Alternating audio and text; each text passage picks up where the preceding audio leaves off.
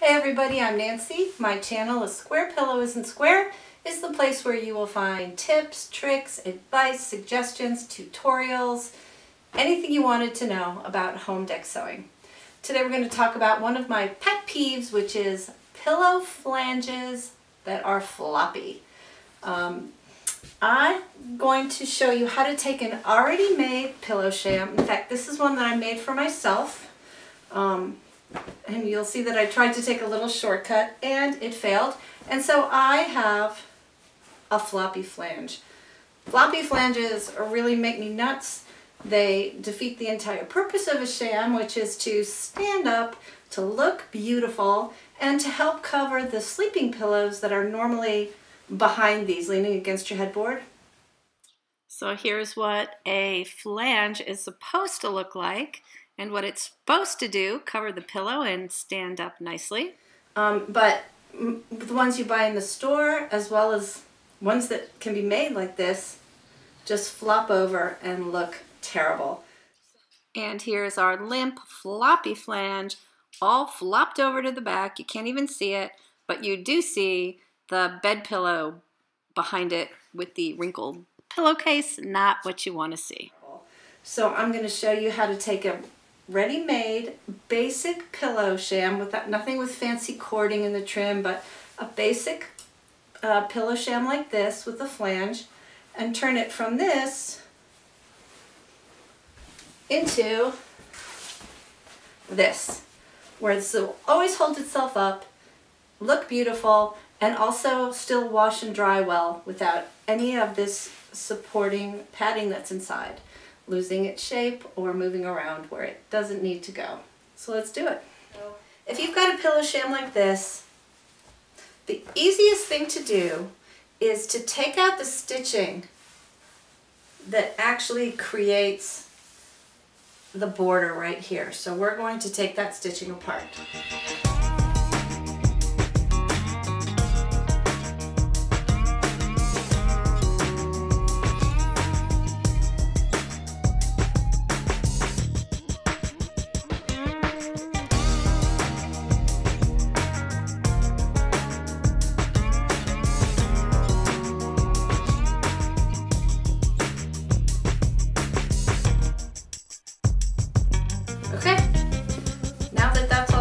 Apart, we should be able to turn the entire pillow wrong side out.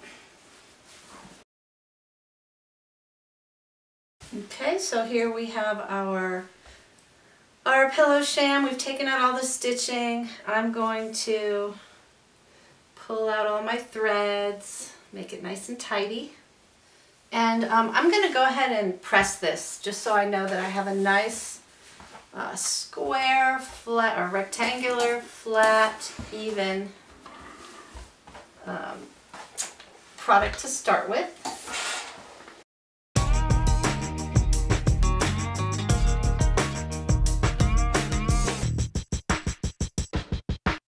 I'm going to just flip it over.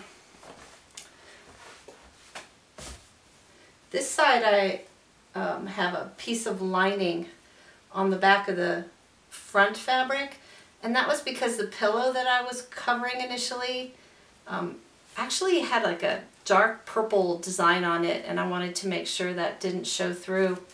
Um, and I actually thought, well, maybe just having the lining on there would give it enough extra body where my flange wouldn't flop over. But I was wrong.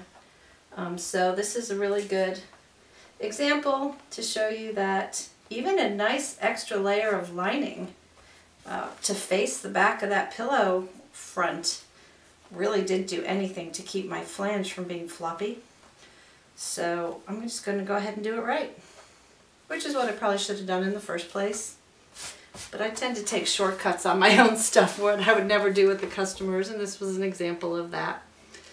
So we're going to just make sure this is nice and ironed on both sides.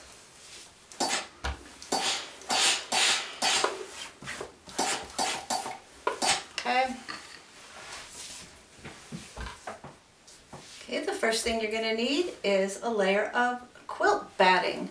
Um, what I happen to have in my studio right now I don't actually have any quilt batting, but what I do have is what's called cushion wrap. This is a, a thick Dacron um, padding that's used to wrap foam cushions when you make window seat cushions or chair cushions. Um, but it's a little bit too thick, so I this is uh, actually something that you can peel the layers apart. But what you want is maybe about a half inch thick quilt batting. And this one, as you can see, has some nice body to it. It's, it's kind of stiff and that's what you want. In fact, if you like a really padded look, you can actually use something this thick, but I'm gonna go ahead and take about half of this thickness off of my cushion wrap. Um, and I'm going to cut out a piece just slightly bigger than my existing sham. So I'm going to go do that.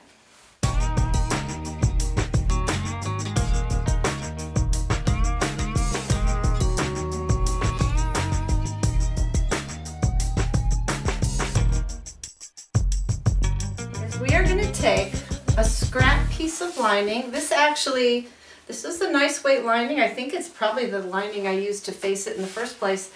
Um, this is a good way to use any leftover lining you have from a project.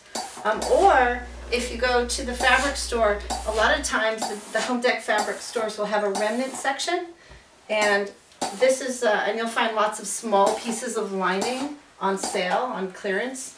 And this is a really good way to use that kind of that kind of fabric. So here's a scrap of lining. We're going to put the lining down first. Then we're going to take our quilt batting and we're going to put that on there. And now we're going to take our pillow sham and as you can see I cut everything just a little bit too big because it's just way easier to cut something down than to try and make it fit exactly. So I'm going to even this all out.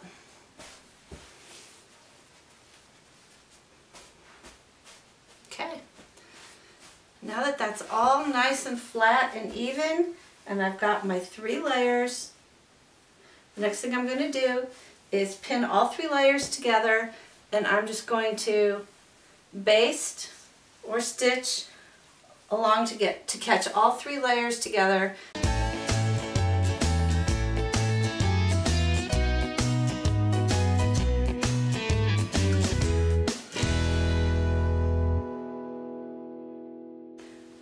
Go sew it.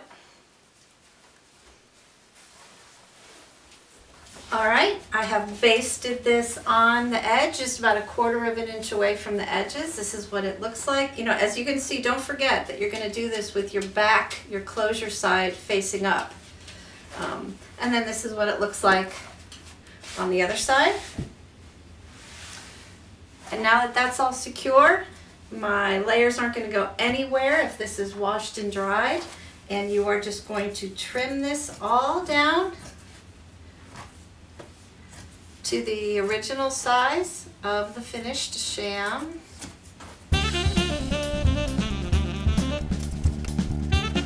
Alright, now we will turn it right side out.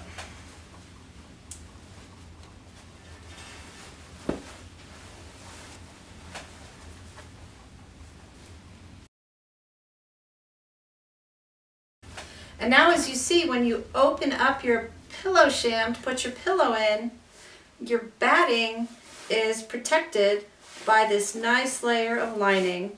So you're not going to rip or tear or mess up your batting in any way because it's got a nice, it's now it's nice and lined and protected.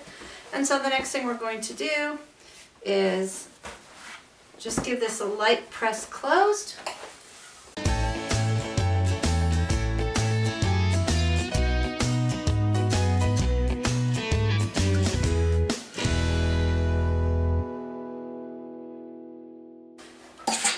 Giving this a nice, uh, a nice light steam press to kind of relax everything and flatten all my layers out. And the last thing you'll do is, I mean, I can actually still see my stitching line, um, but you will mark your two inch border and you'll stitch all the way around it on the outside. Now if you want to, you can mark this with um, a disappearing ink pen or a, a piece of white chalk. Um, however, I actually normally just measure in my two inches. Now in this case, um, I have stripes, so I don't even have to measure. I can just follow one of the stripes all the way down. But normally you just would measure in your two inches and I actually use my pins as my stitching guide. And in this case it's really easy because I can just follow this stripe, at least along these vertical lines. I'll just do that all the way around. Measure my two inch border, short. And I'm going to just use my pins as my sewing guide.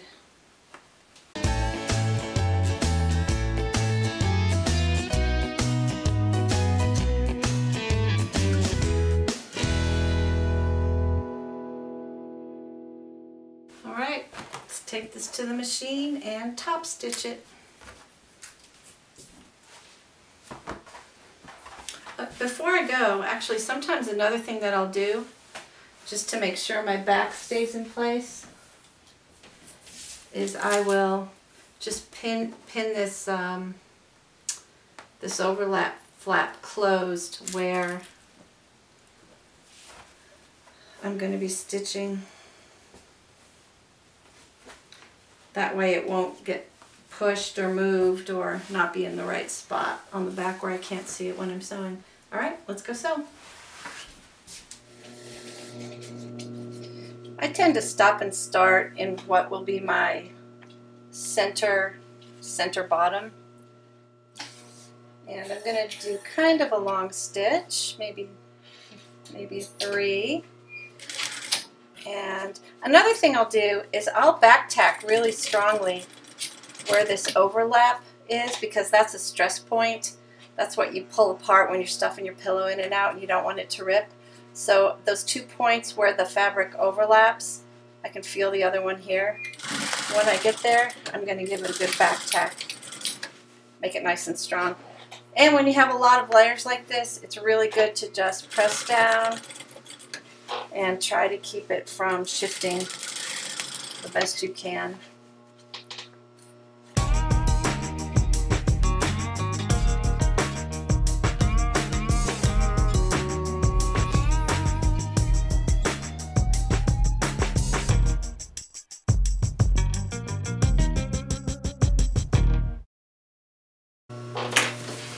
Go put our pillow in and see what we've got.